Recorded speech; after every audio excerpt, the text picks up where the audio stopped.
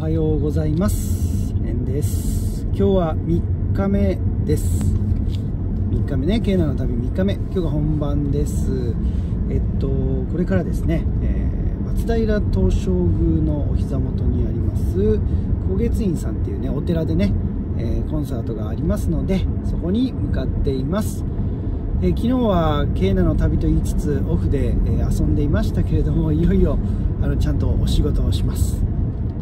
なんかねあの1日目なんか1日目のコンサートの時もねあのレンさんはあのラジコンに行くついでにここに寄ってコンサートしてくれたんだよねみたいなことをあの たくさんの人に言われたんですけども違います。コンサートを行うために旅をしている中でたまたまラジコンをしたとどちらかというとそっちでもともとはこっちのねあの今日のコンサートがあっての話なのでなんかそんな誤解をえー、はいされておりました。何人にも同じこと言われましたけど。まあそんなわけでですね今日また着いたらねあの様子を、はい、撮影したいと思います。じゃあ後ほどです。到着しました。もう準備が進められてるみたいですね。早速行ってみたいと思います。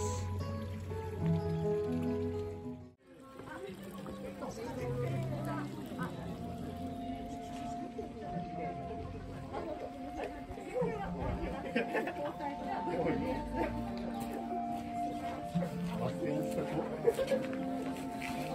you.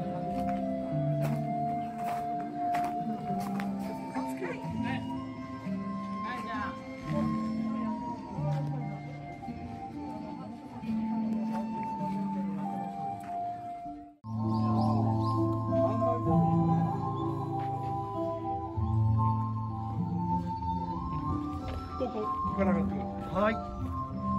ここはあの松平家の菩提寺ということでね日光東照宮の、えー、徳川家康さんの、えー、ご先祖様が眠っておられるということで、まあ、栃木県出身の僕としてはですねお参りせずにはいられないですね。東照宮の親分ですからね。松平市墓所。松田。松平市墓所。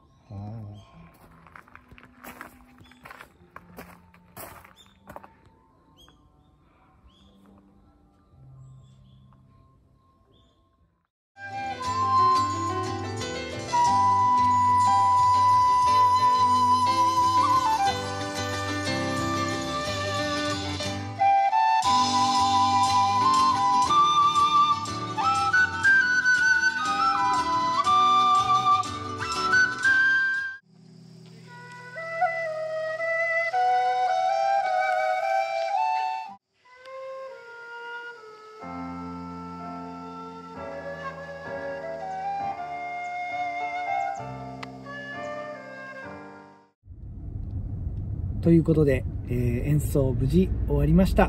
もう風の音コンサート本当素晴らしいステージでした。なんかたくさんの人が力を合わせて作り上げるコンサート、まあ、そんな感じでしたね。でお客様もねあのー、まあ、いろいろこう感染対策をしながらたくさんのお客様が来られてすごく盛り上がりました。演奏もね、当に楽しく演奏させてもらいましたのでいややっぱりいいな演奏。でもしかもねお寺で演奏っていうのはやっぱり気持ちいいですね野外っていうのもまた。う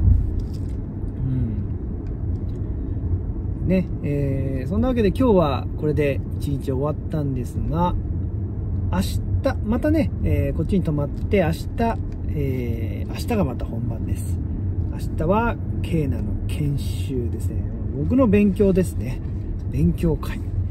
まあ、あの明日もまた明日の話ということで明日すればいいということでとりあえず今日は終わりまして、えー、本当にね、えー、そうそう懐かしいもう人たちにお会いできたりですね。サプライズで応援に駆けつけてくれた人もいたり本当にね楽しい一日になりました。本当にありがとうございました。あごめんなさい。運転しながら前見ながらなのでねごめんなさい。ということでまたまた明日ですね。はいでは。